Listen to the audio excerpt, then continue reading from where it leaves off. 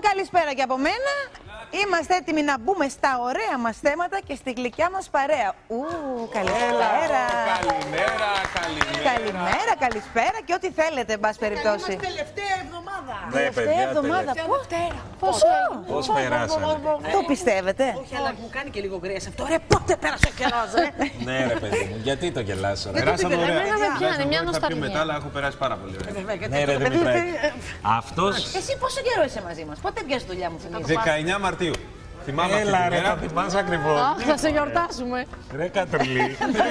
Θα γιορτάσουμε λίγο. Όχι. Για η σεζόν. Νομίζω ότι φέτος πέρασε πιο σφαίρα και από πέρσι. Πραγματικά ούτε μου Δεν μπορώ να καταλάβα. μιλήσω να πω. Παιδιά, αν είναι να μιλήσουμε λίγο ακόμα για τη σεζόν, έχω κάτι best πάνω να ρίξουμε ένα βίντεο best. Δεν αμολάς ένα. Άσχημα είναι. Ναι, άμα το όλοι μπορείς και προλαβαίνουμε να το ρίξουμε, να το ξεκινήσουμε από σήμερα. Γιατί θα σου πω, η καλή σεζόν φαίνεται από τα best βιντεάκια που μπορείς και ετοιμάζεις. Αν μπορείς να κάνεις πολλά best Πλάκα, βίντεο πλάκα. με ωραίες στιγμές, πάει να πει ότι, η Ότι σεζόν. έχει Ναι, κυλήσει Είχε υλικό. Ε, Γρηγόρη, διότι πιστεύω έχουμε, ένα τρίωρο περάσει, θα μας πάρει αυτό διότι το έχουμε περάσει Ελένη και σεζόν που δεν μπορούσαμε να ετοιμάσουμε βίντεο. Εμένα θα μου πεις. Εγώ που ήμουν μέσα δεν